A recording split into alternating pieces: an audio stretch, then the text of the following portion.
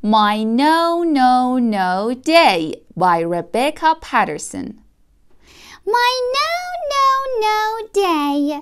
Yesterday I woke up and Bob was crawling around my room licking my jewelry. So I shouted, Get out of my room! And that was the start of my no, no, no day. Then I came downstairs and I saw that egg. I cried and cried and said, I can't eat that. And mommy said, You could eat it last week. Look at Bob eating his mashed banana. After the terrible egg, I didn't like my shoes either. So I took them off all by myself, shouting, No shoes!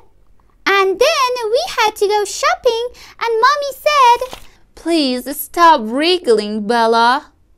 But I couldn't stop wriggling, and in the end I shouted, Get me out! Mommy said, You will give Bob an earache, and you are giving me a headache. And Bob poked me and said, Ear. At lunchtime, Sasha and her mommy came to play and to have some peanut butter and grapes and a cookie. But my cookie broke. Then I couldn't play nicely and I kept saying, No, you can be princesses. And in the end, Sasha and her mommy went home. In the afternoon, it was my ballet lesson. I said, Ballet's too itchy. But I was very loud, and Mrs. Clark stopped playing the piano, and Miss Louisa said, Dear, oh dear, perhaps you should sit in the corner then. On the way home, we met the lady who lives next door, and she said that Bob was the sweetest thing she'd seen all day. And then she said, And how is Bella? I was long way behind, so I had to shout, I have a hurting foot. And mommy said, could I keep my voice down and could I please stop lying on the sidewalk? Then it was time for my super and my bath. But those peas were too hot, and our bath was too cold, and I was too wet, and it was too minty.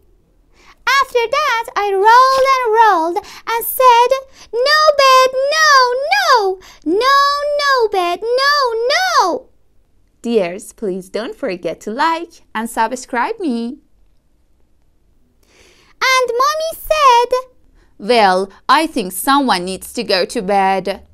But I rolled all over my room and then I rolled into Bob's room and I said, Bed is for babies. And then I yawned a little yawn. then I crawled into my room and mommy said, Who wants a story? And I said, Nobody. But she came into my room anyway, and we cuddled up and had my best story about fairies and cake. Yawn.